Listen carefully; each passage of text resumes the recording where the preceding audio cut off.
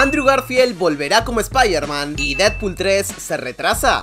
Lo averiguaremos. Respecto a Andrew Garfield, desde que tuvimos su triunfal regreso en Spider-Man No Way Home, los rumores sobre un posible regreso de su personaje están en boca de todos. Y de hecho la información que tengo para traerles hoy no es solamente sobre Andrew, sino que también corresponde al Spider-Man de Tobey Maguire y alguna que otra cosa sobre el Spider-Man de Tom Holland. No inventes. No voy a contestarte. Ya que como les comentaba antes, cuando se estrenó Spider-Man No Way Home y tuvimos el regreso de los dos Spider-Mans del pasado, muchos insiders como My Time to Shine Hello habían salido a confirmar que efectivamente Andrew Garfield estaría volviendo como Spider-Man en el futuro. Sin embargo, ahora en 2024 ni siquiera estamos seguros de que si vamos a tener Spider-Man 4 con Tom Holland y mucho menos sabemos algo sobre una continuación de la saga de Amazing Spider-Man. Aunque bueno, parece que alguien ha estado tocando un poquito la información. Y te retocas mucho. Ya que recientemente hemos tenido la información del insider Alex de My Cosmic Circus, el cual confirma que hay un 100% de probabilidades de que la historia de The Amazing Spider-Man continúe, pero no como todos creemos. 50-50. O sea que con esto podemos suponer que vamos a tener de vuelta al Spider-Man de Andrew Garfield, e incluso lo vamos a ver continuando la historia que quedó inconclusa en The Amazing Spider-Man 2, pero como tal, por lo que nos dicen, no sería en una The Amazing Spider-Man 3 como muchos queremos, por lo que tal vez esto me hace pensar que Sony podría estar intentando hacer una serie del Spider-Man de Andrew Garfield en televisión, al igual que sabemos que está desarrollando una serie de Spider-Man Noir para la plataforma de Amazon Prime Video. Sin embargo, podríamos hilarlo con otros rumores de hace unos cuantos días que decían que Sony estaba interesada en hacer muchas más películas animadas de Spider-Man, por lo que otra opción podría ser que decidan hacer Amazing Spider-Man 3 en formato animado o incluso haciendo otra aventura multiversal al estilo de las que vive Miles Morales, pero ahora tomando como protagonista al Spider-Man de Andrew Garfield. Excelente, está bien. Suena bien. El tema es que por ahora parece que el Spider-Man de Andrew no es el único que estaría regresando, ya que a pesar de que es mucho más factible su regreso que el de Tobey Maguire, lo cierto es que también hemos tenido rumores referentes al propio Tobey, por lo que sí gente, vayan gritando conmigo.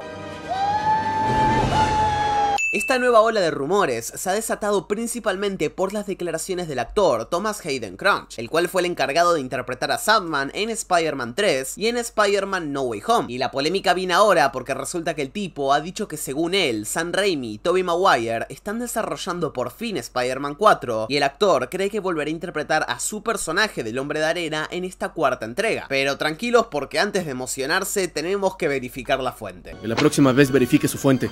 Ya que si bien estas declaraciones vienen de un actor que efectivamente ha participado en las películas de Spider-Man, no es la primera vez que este tipo dice esto, ya que unas pocas semanas después del estreno de Spider-Man No Way Home, el actor salió a decir unas declaraciones muy similares, casi que confirmando que estaban trabajando en Spider-Man 4. Y sin embargo, acá estamos, sin Sandman, sin Tobey Maguire y sin Spider-Man, por lo que sí, vayan tranquilizándose. No tengo intenciones de tranquilizarme. Por otro lado, tenemos que hablar un poco de la Spider-Man 4, que sí tenemos confirmada hasta el momento, y es justamente la la cuarta entrega del Hombre Araña de Tom Holland, ya que como saben esta película está confirmada prácticamente desde que se estrenó Spider-Man No Way Home, pero debido a los cambios que estuvo teniendo Marvel por dentro, el cambio de directiva que tuvo Disney en general y la relación turbulenta que tiene Kevin Feige con los ejecutivos de Sony, la película parece que nunca va a llegar. Era lo mismo de siempre. Ya que por un lado Sony quiere hacer una historia que se centra al 100% en el multiverso, trayendo de vuelta a los Spider-Mans de Tobey Maguire y Andrew Garfield, mientras que Marvel sigue con la idea de hacer una película totalmente callejera que involucra al Kimping de Vincent D'Onofrio junto a muchos otros héroes callejeros como el Daredevil de Charlie Cox, lo cual claramente plantea un problema. ¿No saben cuánto he sacrificado? El tema es que además de todo eso que les comentaba, a esta película se le suma otro factor, y es que parece que tanto Marvel como Sony quieren incluir al Spider-Man de Miles Morales en la película, lo cual también amerita un problema más. Eso es racista, bro. Pero bueno, la noticia como tal es que parece que ahora Sony y Marvel habrían llegado a un acuerdo, ya que según lo que dice el insider Daniel RPK, ambos estudios están interesados en que la película live action de Miles Morales, que se viene rumoreando hace muchísimos años, finalmente se desarrolle dentro del universo cinematográfico de Marvel, por lo que de esta manera estaríamos teniendo al Spider-Man de Tom Holland como el profesor o mentor de Miles Morales. ¿De qué esperas? Y a ver, por más que esto esto pueda sonar un poco como una locura para algunos, la verdad es que tiene mucho sentido, ya que otra de las cosas que comentaba el insider Alex de My Cosmic Circus es que el acuerdo al que están llegando Kevin Feige y Sony ahora mismo también involucra los términos para Spider-Man 4, porque según lo que informa, lo que están negociando es un término medio que permita que Spider-Man 4 pueda presentar una historia tanto callejera como una historia que trate sobre el multiverso, por lo que sí, podríamos decir que es un 50-50. 50-50. Ahora bien, seguro se están preguntando el cómo van a mezclar dos conceptos que a priori suenan tan diferentes. Aquí una historia súper multiversal que involucre a tres Spider-Mans de diferentes mundos, con seguramente villanos que también vengan de otros universos, mezclado con una trama callejera en la cual Kingpin sea el gran villano, no suena como cosas muy compatibles. Aunque bueno, en verdad sí, porque Into the Spider-Verse ya lo hizo, pero dudo mucho que el Kingpin de Vincent D'Onofrio tenga aspiraciones multiversales. ¡Puta madre, abuela! Por lo que parece que el equilibrio que están intentando buscar Marvel y Sony en su película multiversal y callejera probablemente sea algo más simple, ya que por un lado podríamos estar teniendo la clásica historia callejera, en la cual Kingpin va con su proyecto de ley contra los vigilantes, pero por otro lado podríamos estar teniendo una pequeña subtrama multiversal, la cual Miles Morales llegue de otro universo, y ahora tiene que ser entrenado por el Spider-Man de Tom Holland. ¿Negritos? ¿Me ha dicho negro? Aunque bueno, si les soy sincero, no sé muy bien cómo podrían relacionar estos dos temas, ya que una trama en la cual Miles Morales es entrenado por el Peter Parker de Tom Holland suena mucho más a la trama principal de una película centrada en Miles que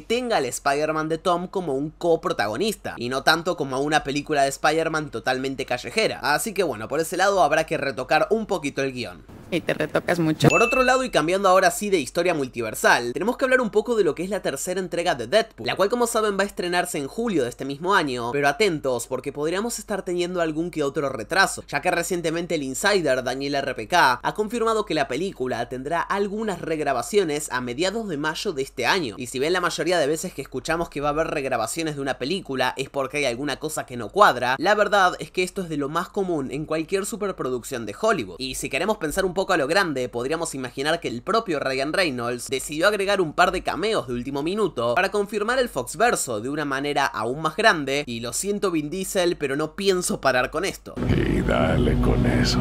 Sin embargo, como saben, estamos cada día más cerca del estreno de esta película, y es por eso que últimamente están siendo liberadas nuevas sinopsis de la misma, que señalan que en la cinta estaríamos viendo el cómo Deadpool termina escapando de la TVA, y el cómo va a estar peleando con el Wolverine de Hugh Jackman. De hecho, algunos insiders están comentando que los primeros 30 minutos de película van a ser literalmente de Wolverine vs Deadpool, hasta que los personajes tengan que unirse contra una amenaza mayor que ya ha sido totalmente confirmada. Te ves bien. Todo luce de maravilla. ya que según los datos que nos llegan de la oficina de copyright de Estados Unidos, el personaje que interpretará a la actriz Emma Corrin en Deadpool and Wolverine es oficialmente Cassandra Nova, que para los que no la recuerden de los videos anteriores es la hermana gemela, entre comillas, de Charles Xavier, que claramente es una villana, y suponemos que por alguna razón va a ir tras Deadpool y Wolverine, o simplemente esté en una encrucijada multiversal que estos dos tengan que detener. Genial, genial. Aunque bueno, como saben, otra de las cosas importantes que tenemos que tratar es el hecho de que parece que dentro de muy poco estaremos teniendo el segundo tráiler de la película, con una duración bastante corta y otros detalles más que si quieren saberlos a fondo, les recomiendo que se vean este video que te estoy dejando para que lo veas ahora mismo.